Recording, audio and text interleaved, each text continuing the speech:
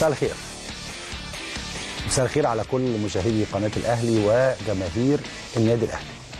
النهاردة معانا كل مرة بيكون معانا أبطال من النادي الأهلي بيكون معانا أبطال عالميين وأبطال دوليين وأبطال محليين. والنهاردة معانا لعب أبطال من لعبة فردية. لعبة فردية محققة إنجازات كتيرة داخل النادي الأهلي.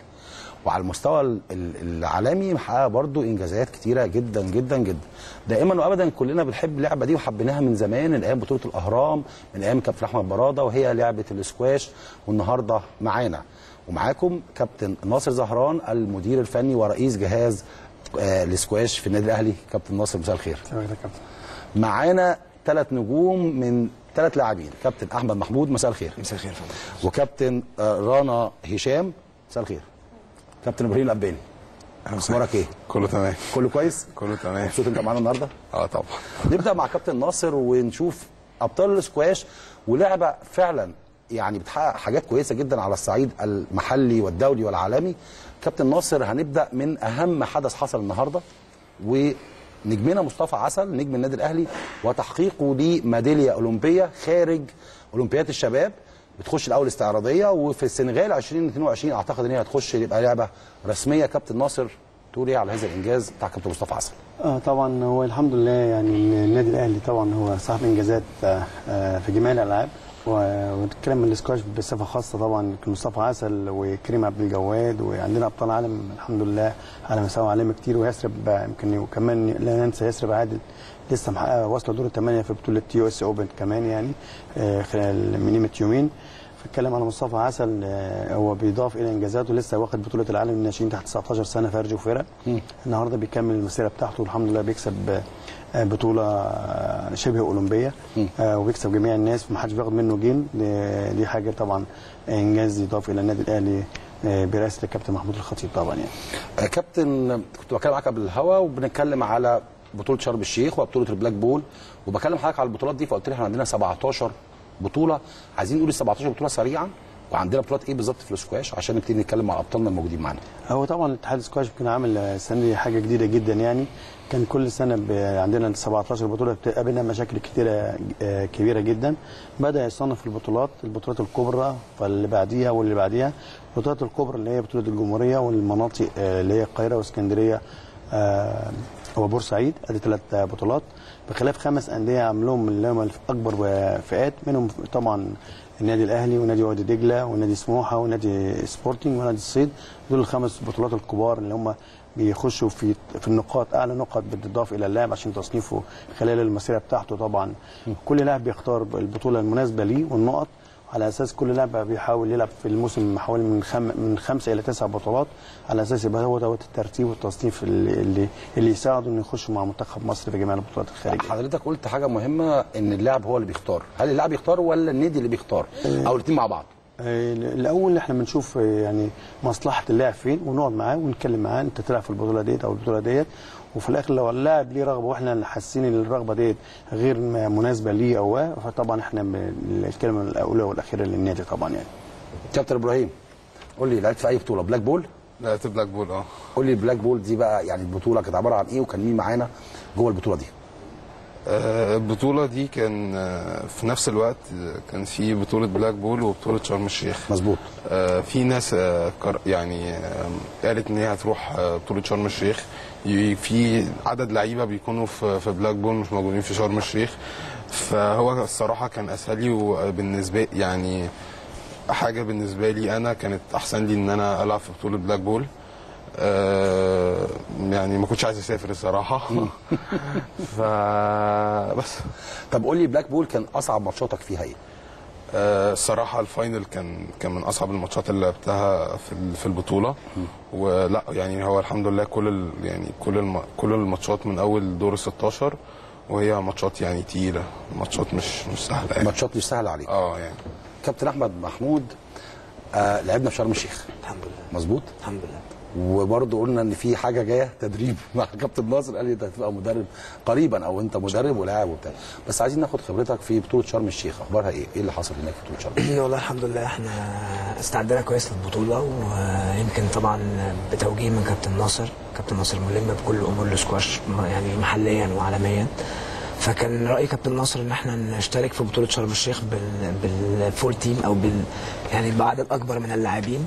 لأن البطولة يمكن ما فيش pressure على اللعيبة زيادة أو ما فيش ضغوط نفسية على الولاد فكان اختيار كابتن ناصر إن إحنا نشارك في بطولة شرم الشيخ والحمد لله بتوفيق ربنا طبعا.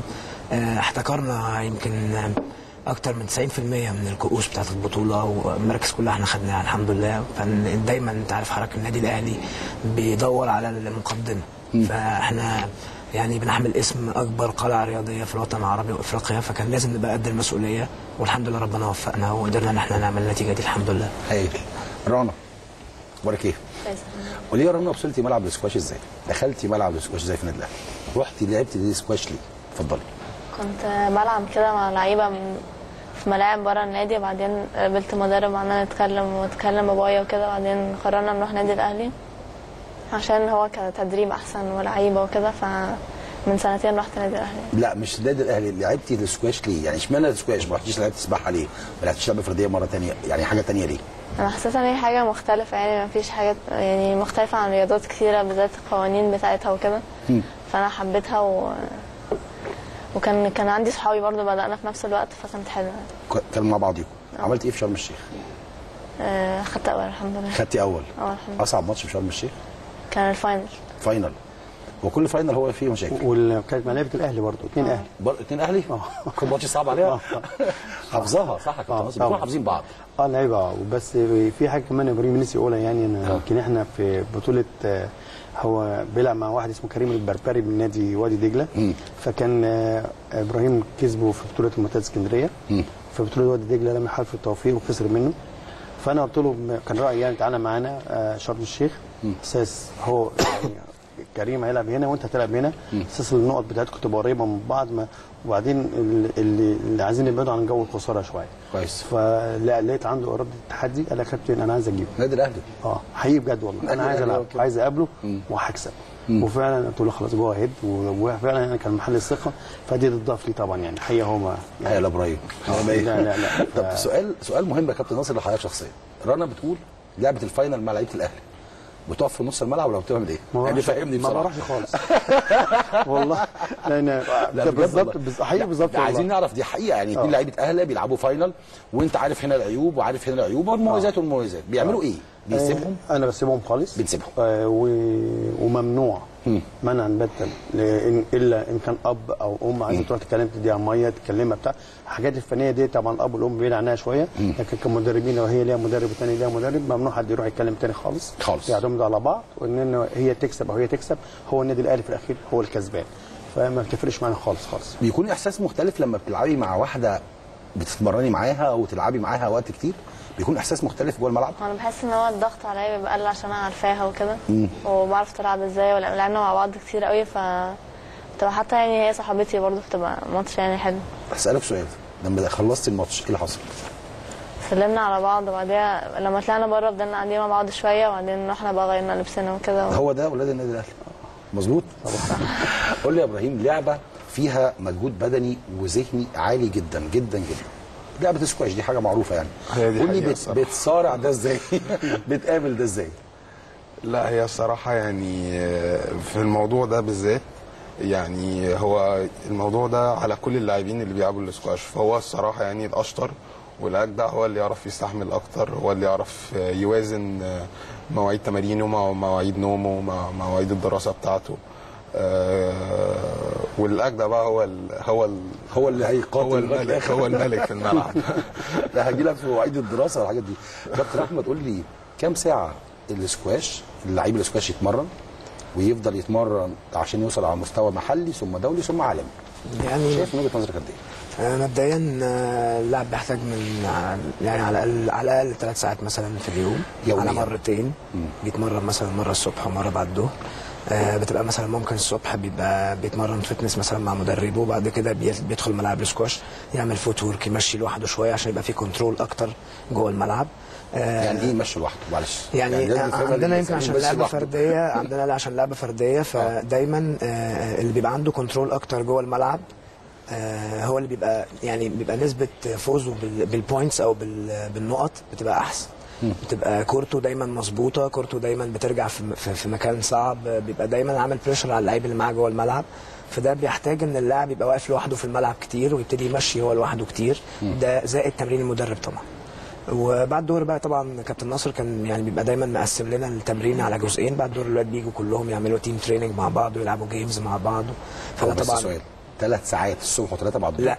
ساعه ونص ساعة ونص ساعة ونص. ونص ده, بخ... ده سكواش بخلاف بقى ال fitness بتاعه وال... في نفس اليوم؟ آه يعني بيقسمهم هم يعني هم أنا بتهيألي الموضوع اللعيبة. دول انت بعدهم بعدهم في الملعب لسه بقول لك. متفرغين طب يعني. نقول نقول لمجلس الإدارة يعملوا لهم هناك سراير ويناموا آه. جوه النادي صح؟ لا دي حقيقة يعني بيتعبوا فعلا آه، ومش هم كمان أنا يعني من من هنا بجد والله يعني آه، أولياء أمورهم لهم دور كبير جدا. في عمليه تنظيم الوقت بتاعهم والدراسة وكلام من يعني مامته مثلا آه، وباباه كمان بطل اسكواش محمد الاباني ومامته مدام رحاب طبعا.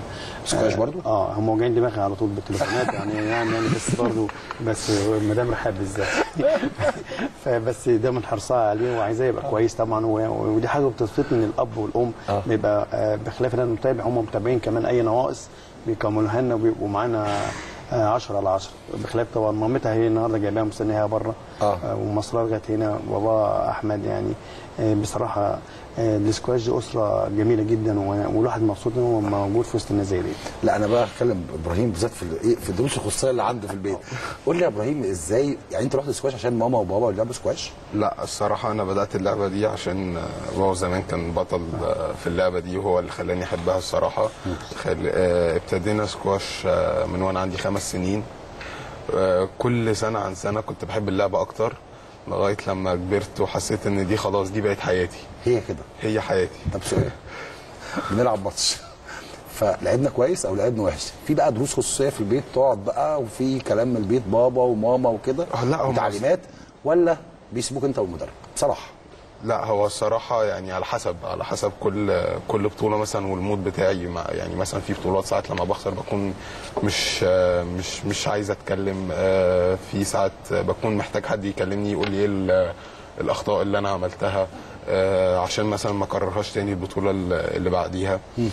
كده على حسب كل بطولة ببطولة يعني. يعني دي ناحية إيجابية بالنسبة لك مش ناحية pressure مفيش ضغط عليك؟ لا لا خالص خالص. خالص. آه لا. مستمتع انت بالموضوع ده؟ أنا آه بصراحة يعني حابب الموضوع. حابب الموضوع. لا خلاص مفيش مشكلة. طب رنا قولي لي. الكابتن ناصر بيقول ماما هي شايلة تقريبا الحمل. الصراحة يعني هو مقسمنا في البيت. يعني مامتي هي اللي بتقعد تكلمني مثلا إن هو دايما أشد أكتر وكده لكن بابايا مثلا هو اللي دايما بينصحني مثلا إيه الصح وإيه الغلط وكده. بيكلموك في فنيات الاسكواش لا يعني هو دايما بيكلموني كحاجات عامة عمرهم ما بيكلموني عن التدريب مثلا أو حاجة. يعني مثلا بيكلموني عن آه، بالذات بابايا مثلا يكلمني على حسب طريقتي في الملعب والحاجات دي. لكن مامتي مثلا تقعد تقول لي اتمرني أجمد وكده لكن مش اللي هو اتمرنتي واحد يعني عمرهم ما هيتحط عليا الضغط إن أنا لازم مش لازم. لازم إيه قولي قولي عادي جدا. قولي قولي ولا ولا إحنا قاعدين قاعدة يعني هادية. قولي. لا، يعني عمرهم ما بيهزقوني أو حاجة لو اتمرنت. ما تحت ضغط خالص. خالص. آه، خالص خالص. ما شاء الله دي حاجة كويسة خلي بالك برضو. بس بتقولي إيه لماما بقى تشكريها آه هما الاثنين حاجة مهمة جدا في الحياة بصراحة.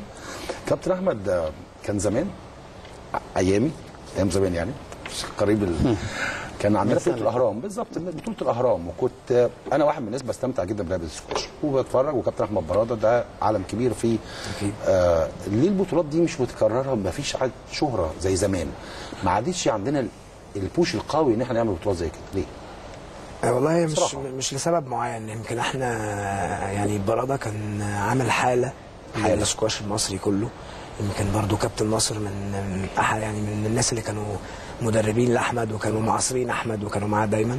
فيمكن براده هو كان آه، يعني الشعلة اللي نورت طريق السكواش للمصريين إن هم يحبوا السكواش ويبتدوا يدخلوا السكواش ويبتدوا يلعبوا سكواش. آه، اختفت بطوله الأهرام شوية لحد ما إحنا ابتدينا نرجع تاني لقمة السكواش على مستوى العالم بالنسبة للسيدات وللرجال. وابتدى عمرو منسي عندنا مجتهد وبيعمل بطولة جونة كل سنة بطولة ناجحة جدا ومن أقوى البطولات. يمكن السنة دي برضو في كذا بطولة PSA محترفين وهيجي فيهم أح- يعني أقوى لعيبة في العالم. يمكن Black Ball عامل بطولة برضو السنة دي PSA دولية. كان في بطولة اسكندرية الدولية كانت هتتعمل برضو بس ما حلفهمش الحظ يعني ما كملتش وكده. بس يعني إحنا بنخطو بخطى ثابتة إن شاء الله إن إحنا نستعيد تاني البطولات العالمية جوه مصر إن شاء الله. علشان ده يمكن آه، يعني أقل حقوق الأبطال اللي العالم كله بيتكلم عليهم. إحنا عندنا يمكن ال- ال- ال top 10 في الرجال عندنا ستة موجودين مصريين وال top 10 في السيدات برضو حوالي أربعة أو خمسة برضو. فيمكن إحنا بنحتكر الاسكواش على مستوى العالم كله. كابتن ناصر كابتن أحمد بيقول محتكرين السكواش. السته السته من ال top 10 عندنا حد من النادي الأهلي جوه جوه ال ranking ده؟ لا طبعا كريم عبد الجواد موجود. كريم عبد الجواد. آه نعم من أحسن من أفضل أربعة المفروض يعني من أفضل لله. أربعة في العالم. آه طبعا يعني حاجة كان بطل العالم. آه، يعني كان ترتيبه نمرة واحد لمدة سنة وسنه ونص على مستوى العالم. طبعا دي حاجة كويسة جدا طبعا. عندنا ال- اللي جاي إن شاء الله عندنا الكابتن أحمد حسني يمكن بدأ يخش دلوقتي في في الخمسينات عندنا هيقرب. هيقرب إن شاء الله طبعا. عندنا كريم علي.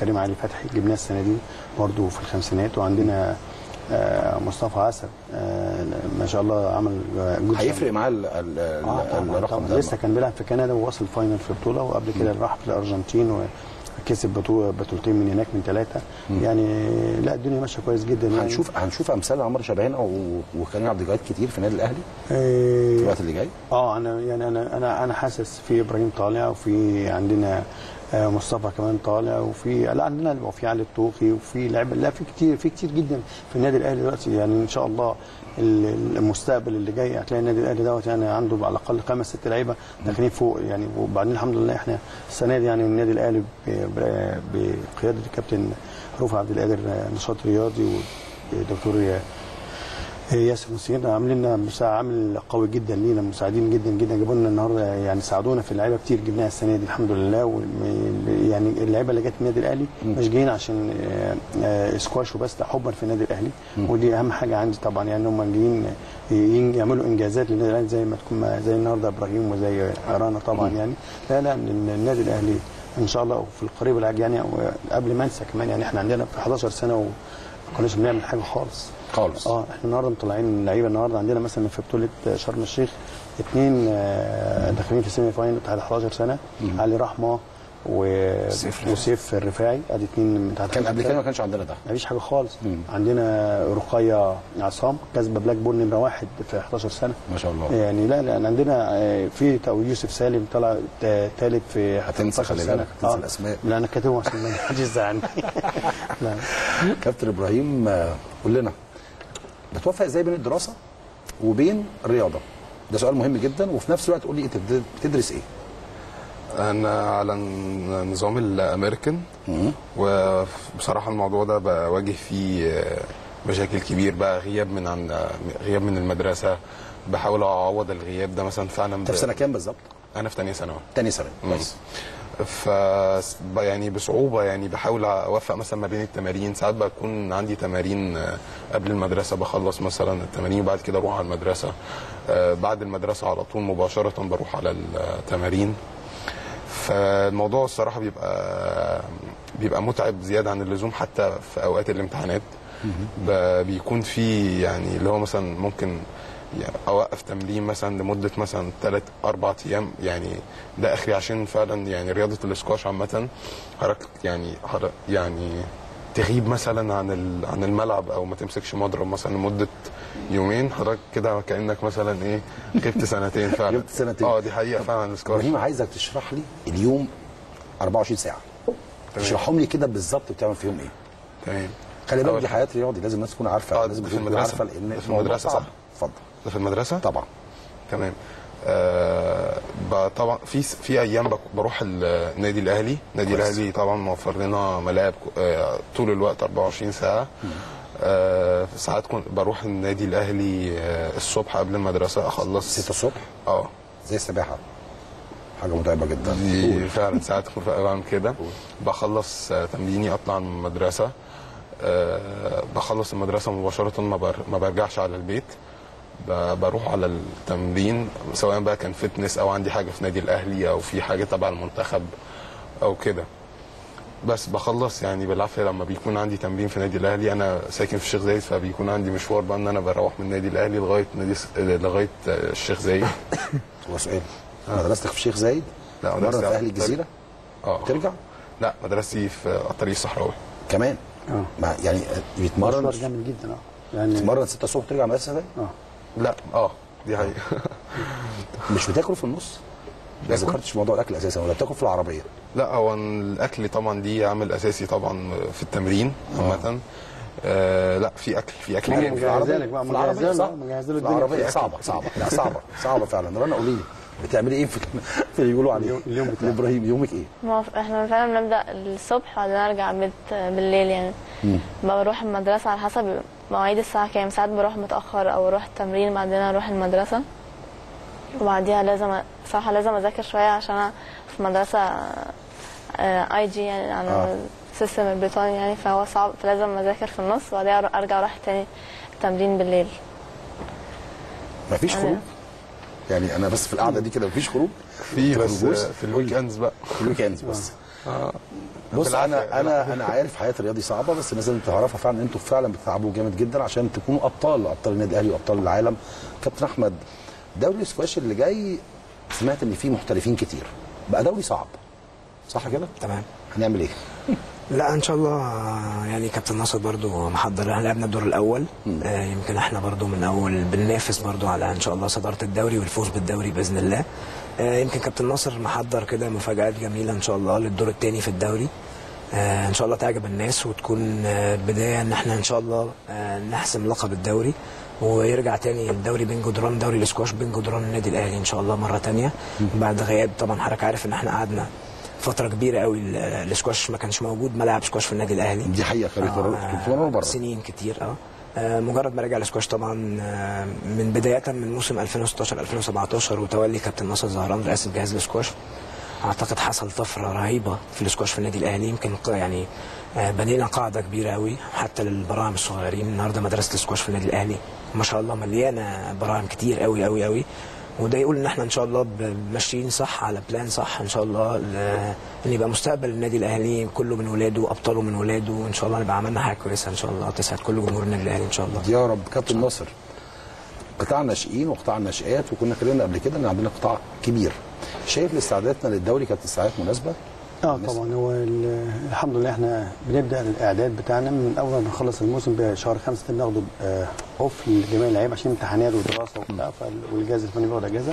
أول ما بنبدأ خلاص يعني الحمد لله بنبدأ آه، من 15 6 استعدادا ليها وخصوصا إن الدوري يبدأ شهر 9 آه، عملنا استعداد جامد جدا حضرنا فرقة جامدة جدا وطبعا يمكن الناس عارفة كلها يمكن الخمس سنين الأخر دول نادي وادي دجلة هو المسيطر على لعبة الاسكواش طبعا بما إن هو كان آه، عنده إمكانيات آه، مالية كويسة وعنده آه، جهاز فني بقياده الكابتن آه، كريم درويش كريم أعتقد كابتن كريم درويش هو ماسك النشاط الرياضي. دلوقتي ماسك النشاط آه. الرياضي وأنت عارف هو كان بطل عالم طبعاً. سابق فكان عينه كويسة طبعا عرف ياخد اللعيبة من الانديه المعينه وعمل قاعدة كبيرة جدا آه، هو اللي ماشي عليه لغاية دلوقتي وم- ومخليه متقدم على الأندية ان ما فيش حد كان بينافسه آه، حالا إن هو ياخد منه من اللعيبة هو كان مسيطر كل اللعيبه كانت بتيجي عنده الحمد لله يمكن أنا كان فكري يمكن احترافي شوية قلت لازم إن شوية النادي الأهلي مش نادي اسم كبير جدا ولازم بقى يخش في الدنيا دي كويس. وبعد الملاعب ما اتعملت على أعلى مستوى طبعا و آه، وأحدث مجمع معمول في مصر دلوقتي الملاعب النادي الأهلي قلنا لازم نجيب لعيبة ونفسه وفعلا يمكن خدنا آه، أكتر اللعيبة اللي جم السنة دي أكتر نادي استفاد باللعيبة آه، من خارج النادي الأهلي وجم هو النادي الأهلي. وبناء عليه يبقى هو بدأنا نعمل له قلق. لو بدأنا نقول النادي الأهلي جاي لكم خلي بالكم يعني إن في حاجة جاية إن شاء الله. ودوت اللي بيحصل فعلا يعني الحمد لله. بدأنا ماتشين نادي سموحة. السنة اللي فاتت كان كسبنا. السنة دي إحنا كسبناها الحمد لله. آه، Black Ball جاب لعيبة كويسة جدا. لعب معانا وكسبناها برضو. بيجيبوا محترفين يا كابتن آه إحنا يمكن مين مين اللي جاب محترفين من بره؟ آه، وادي دجلة. جايب محترفين. جايب آه، بنت. آه، وجايب آه، آه، جاب آه، آه، لعيب كويس جدا بس مش فاكر اسمه إيه. هو دلوقتي يمكن آه، من المصنفين مصنفين عالمين جدا. نادي هليوبوليس جايب آه، آه، كول. كويس. آه وجايب أماندا صبحي. أماندا صبحي دي باباها مصري بس عايشة في أمريكا من أحسن اللاعبات على مستوى العالم. آه فبدأوا حتى ال- ال- التعاقدات الداخلية نازل ال Black Ball دوت جاب لعيبة زي سلمى هاني. هذا إحنا إحنا عندنا كريم عبد الجواد وعندنا ياسر جبناهم وجبنا كريم علي فتحي. آه لكن إن شاء الله بإذن الله بمساعده النادي والنشاط الرياضي هنحاول نجيب لعيبة ولاعيبه برضه محترفين على أساس يدوا قوة للفريق بإذن الله إن شاء الله رنا قولي لي مين مثلك الأعلى في السكواش؟ في الولاد رامي عاشور في البنات رنيم الوليلي رنيم الوليلي. اشمعنى رنيم الوليلي؟ أنا. بحسها يعني بحبها هي محترمة قوي و... ولعبها حلو قوي وهادية و... والناس كلها بتحبها. أنت مش شرسة في الملعب؟ قوي لا طيبة جدا. لا لا أوي. مفيش رياضي طيب. آه، لا لا لا لا لا. ساعات بيساعدها ال- الهدوء دوت في الملعب بيبقى محتاجه طبعا في وقت الأوقات. بتبقى الهدوء دوت بي- بيديها ثقة في نفسها وبيخليها كول في الملعب شوية بتقدر تتصرف صح. فطبعا بس إحنا عايزين بقى نديها جرعة كده جرعة حماس وروح. شوية كده وروح. صح أنا شفت. لعيب في السكواش بيضربوا المضرب في الأرض وبيعملوا حاجات جامدة جدا. ما بتعملش الكلام ده؟ مش من مش نوعية اللعيبة دي. زمان كنت بتعصب قوي لكن بقيت بقى العكس هادية قوي هادية دلوقتي؟ آه. إبراهيم إيه؟ شكلك عصبي.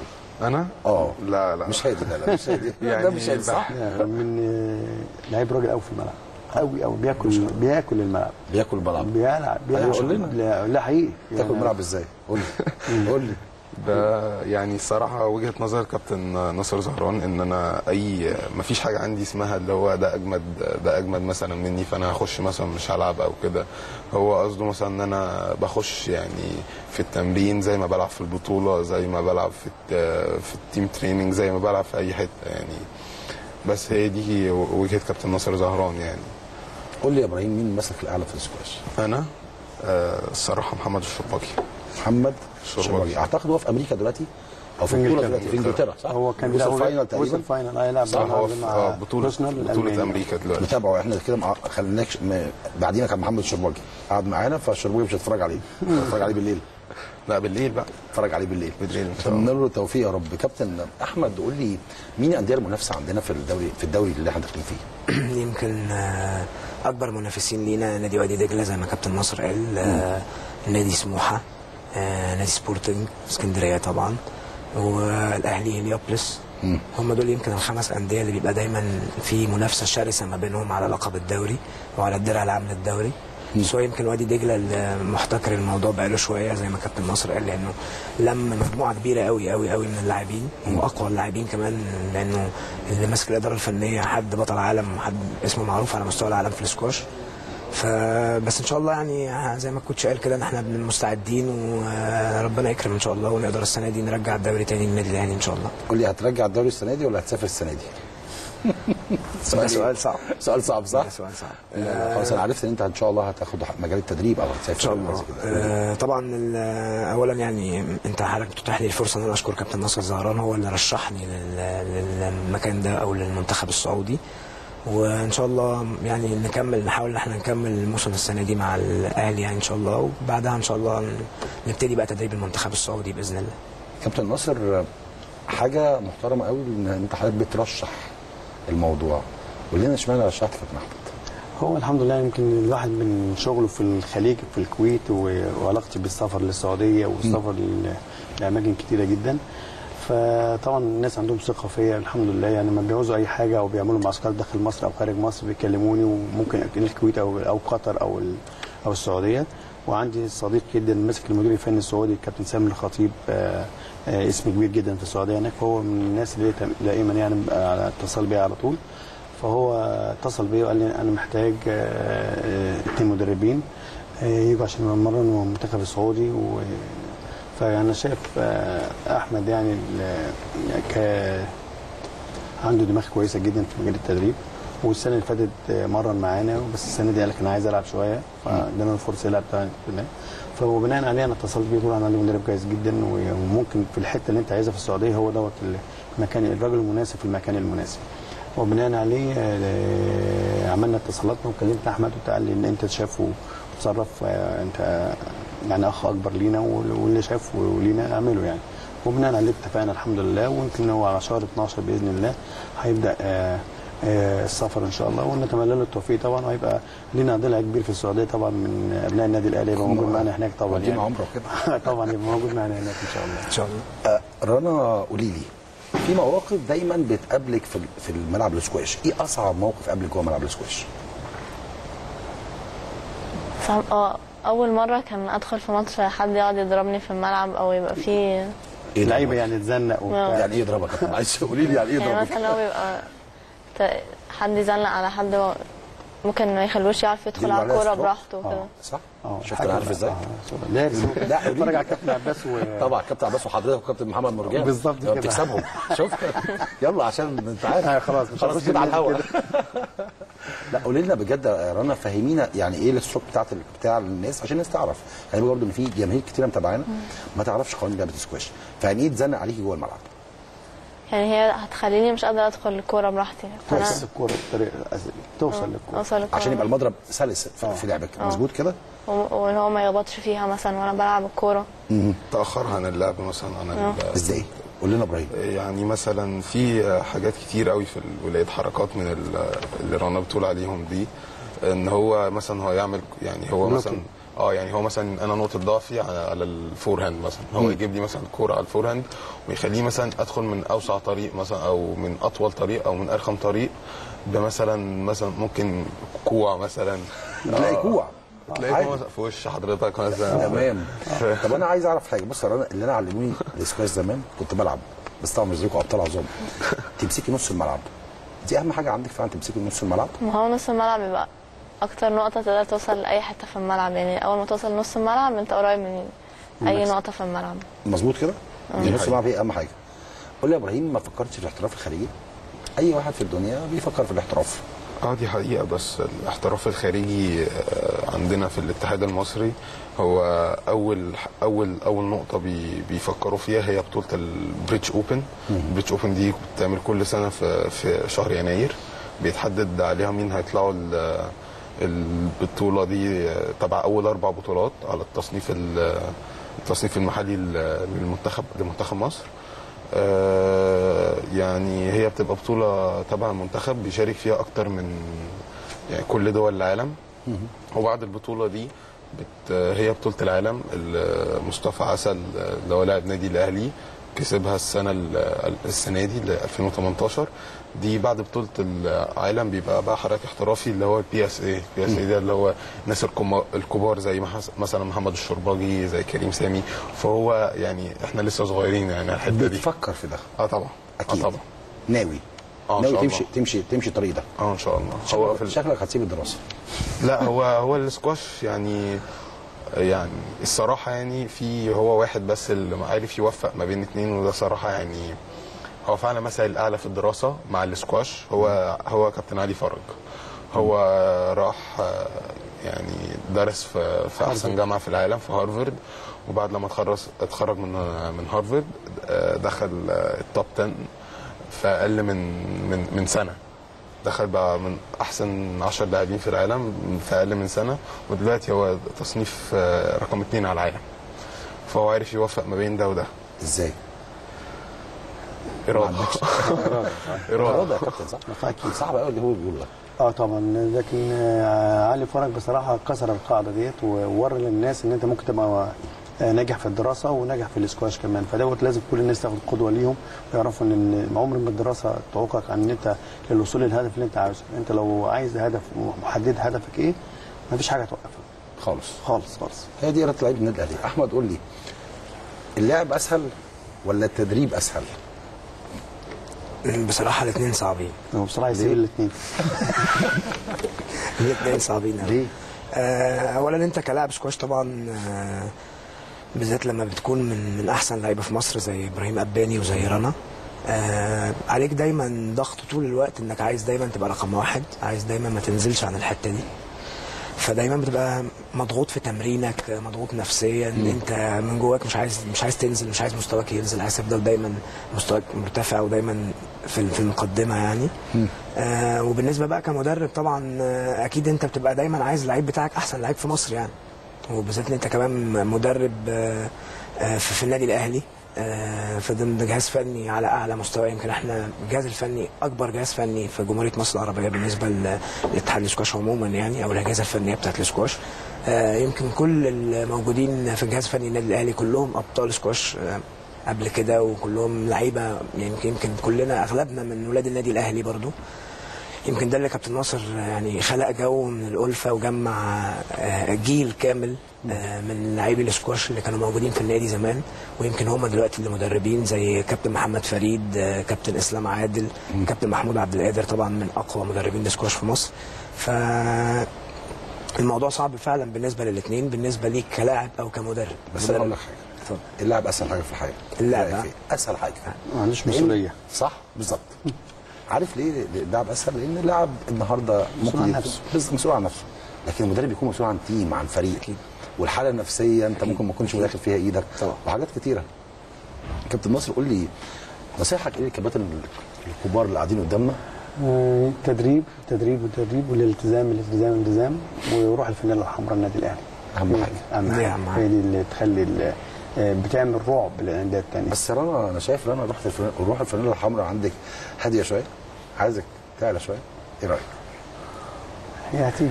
هتيجي؟ أيوة، بدأت تيجي شوية. بدأت تيجي؟ تعرفي هي بتجيلي في الدوري بس. في الدوري. في البطولات برجع بقى رنا بس. لكن في التلفزيونات لا. عايزين تيجي في كل حاجة. صح؟ طب قولي لي قولي يا كابتن ناصر آه، الولاد عندنا في المرحلة اللي جاية يعني النهارده إحنا عندنا أبطال طالعين. وما شاء الله انت بتقول ان اول مرة نكسب 11 سنة. طمنا على ال... كتوتال كل السكواش في النادي الأهلي. لا يمكن ال- النتائج بتقول. آه، زي مثلا إحنا عندنا شرم الشيخ الحمد لله حققنا 15 كاس في بطولة شرم الشيخ مع خمسة كمان في في بلاك بول ادي 20 كاس. آه، حاجة ما حصلتش قبل كده خالص. يمكن إحنا أكتر نادي حصل على عدد من الكؤوس هو النادي الأهلي. في وجود أندية عريقة وكبيرة جدا زي نادي سموحة وزي نادي وادي دجلة وزي نادي بلاك بول حاجات منافسين جدا. إن أنت تخش في وسط المعمعة ديت أو في وسط الكوكبة من النجوم ديت الأندية ديت وتكسب الكلام ده حاجة آه كويسة جدا. بخلاف اللي إحنا القاعدة اللي إحنا عاملينها دلوقتي وهو دوت الهدف بتاعنا إن إحنا لازم نعتمد على أولاد النادي إن شاء الله. هو ده إحنا عاملينه عندنا حوالي فوق ال 150 لاعب في مدرسة الاسكواش. طلعنا حوالي السنة دي ست لعيبة بدأوا يلعبوا في الفريق بتاع 11 سنة. ما شاء الله. آه فدي بالنسبة للعب الفردية طلع ست لعيبة دي حاجة عدد كبير جدا الحمد لله. وخصوصا إن عندنا مثلا لعيب زي سيف الرفاعي دوت من من طالع من مدرسة من لعيبة صغيرين ويوصل النهارده semi final ومرشح يسافر ال British Open يمثل مصر فيها. دي حاجة بتحسب لنا طبعا. بخلاف إن هو اللي اسمه علي علي رحمة وصل نهائي بطولة الشرم لا لا عندنا شغل وأنا بالمناسبة يعني عايز أشكر ال- ال- الجهاز اللي هو الأكاديمي اللي هو الدكتور فريد صلاح اللي هو مسؤول عن الأكاديمية دي. حقيقه يعني عامل مجهود كويس مع الناس مع المدربين الصف بتاعه كله. بس وتسمح لي إن أنا أشكر برضو الجهاز الفني اللي- طبعا. اللي المتواجد معانا الكابتن محمد سمير المدرب العام مدحت جلال إسلام عادل محمود عبد القادر آه، حسين إمام محمد فريد طارق إسماعيل ياسر مبروك شريف هاشم عمر العريان محمد مسعد آه، عمرو فهيم. الصورة دي آه، منتصر. أعتقد الصورة دي معبرة جدا. آه طبعا. جاي بالمناسبة يعني. آه. جاية بالمناسبة صح؟ صوره معبرة جدا. منتصر وإبراهيم عسل. آه. آه. عندنا ال fitness عندنا خمس مدربين fitness مش ما شاء مش الله. موجودين في أي نادي. وليد عز الدين محمود عبد الغني محمد رأفت نديم ماجد جهاز إداري خالد بسيم محمد زكي أحمد سمير أدهم. الطب الدكتوره هدى طبعا يمكن آه، طبعا. تاريخ في النادي الأهلي والدكتور العلاج الطبيعي محمد عنتر. كل دول اليوم مني كل احترام كل تقدير على المجهود اللي هم عاملينه خلال الموسم. اللي إحنا شغالين فيه ده. هنا قولي لي لعبة السكواش فيها جماهير؟ هما بدأوا يزيدوا قوي يعني بدأ يعني كل الناس دلوقتي عارفين عن السكواش في مصر. يعني بيشوفوا النتائج اللي مصر بتعملها في السكواش فكله عارف عنها. يعني دخلتي ملعب السكواش لقيتي 2000 واحد بيشجعوك تعملي إيه؟ هسيب الملعب وامشي.